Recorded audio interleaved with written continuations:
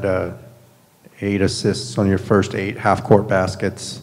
Um, Coach said that uh, them playing zone kind of increased the ball movement, uh, just happenstance. But were you guys making a conscious effort to find each other and, and, uh, and move the ball? Uh, yeah, we just want to be a great team. That's what great teams do, and um, it's more fun that way, just sharing the ball, talking on defense.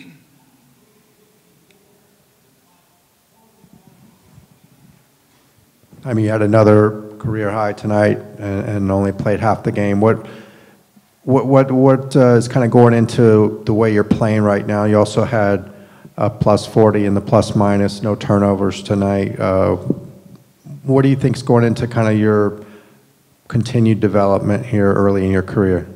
Um, I just try to play the same way every single every single game. You know, whether I play a lot, start, sit the bench, whatever. It's the same mentality every single game. So that's what I do. And Hi- Jaime, uh, you had those two steals that led to dunks in the first half. What, what did that do for you, uh, kind of momentum-wise for the team? Do you think it kind of gave you guys an extra boost at all?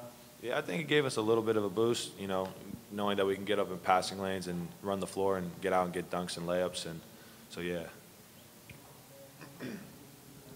Uh, Jaime, these guys have been through it already, but going to Maui and playing those three games in, in such a quick fashion, how much does that help your comfort level, and how much did you notice it out there tonight?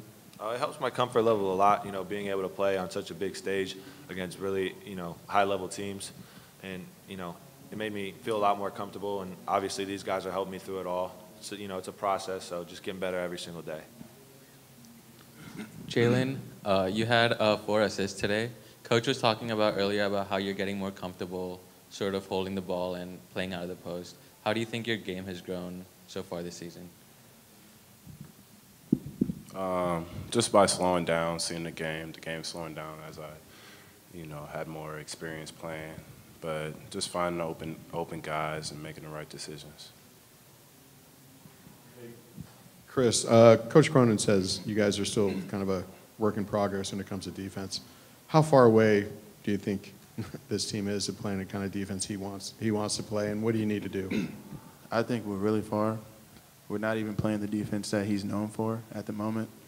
Um, I don't know. It, the biggest thing is talking on defense, and we don't do much of that at the moment. We just got to get in the groove, get more comfortable, and we got to talk more, and then I think we'll start progressing towards what he wants. Do you think you know the team knows what to do? You're just kind of not clicking yet. What do you think it is? I think it's just a work in progress, like everything else. Um, this team's fairly new. Uh, we've got younger guys. I just think it's a work in progress, you know. Everyone's got to, I guess, get in the groove on defense. And like I said, talking's a big thing. We got to do a lot more of that. You see it getting better? Have you seen progress? Yeah, I definitely see it getting better. For, for Chris and Jalen, what, what's it been like to see Jaime emerge here these last handful of games, or what has he It's brought? It's I love it. I What, love what, it. what has he brought to you guys? Uh, energy, effort, uh, just the easy things, the things that he can he can do. We're not asking him to do anything more than that. And as you can see, it helps. It's just a it's a great sight because he's a freshman, and you know, uh, as when I was a freshman, I wasn't doing stuff like that, and it's just cool to see. So yeah. Uh, I I just been talking to him from day one, telling him to calm down, and just I told him it took me a while to calm down, so uh, don't feel like you know it's weird or anything. So I mean, today he was he was calm. He was seeing open spots, cutting to the rim. Uh, he brought the same energy he brings every single game, and 18 points came out of that, four assists, a lot of rebounds as well. And this is just for any of you guys. Uh, we didn't ask Coach, but how many deflections do you guys have today? 29. Or what do you guys uh, think you could do better? Because I mean, you're not getting to 40, but what do you think uh, kind of held you back from getting to, to the benchmark tonight?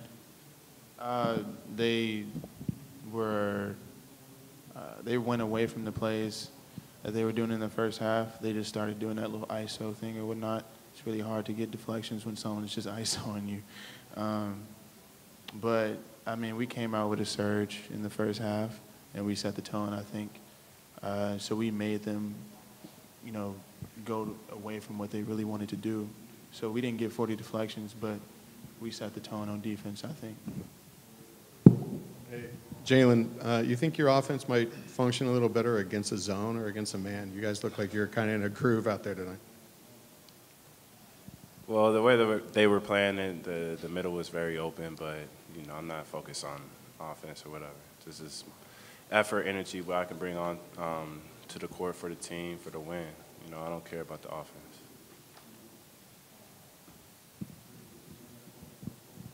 Uh, Jalen, you were matched up with number 14 down low a lot. He's obviously a really big guy. What, what was that like on both ends of the floor, kind of slowing him down on offense and just trying to get around him when you're on offense? Uh, it was it was hard, uh, but you know, Cody in practice, he he's really aggressive and he's really uh, really good down the post. So that kind of helped me out a lot. You know, the way he plays, we just beat each other up every practice. So it it was a it was a challenge, but you know, I was ready for it. Seems like win or lose, coach always comes in and, and pinpoints things that you guys need to work on and improve on. Do you guys like that? That you're, you're always building towards something and, and never really like accepting where you are? you you can't get better if you get comfortable. So um, every time you do anything, you got to look for ways that you can improve, not for things you did well. And if you're getting better, if you're not getting better, then you're getting worse. So. Like that one. I had that one in my pocket.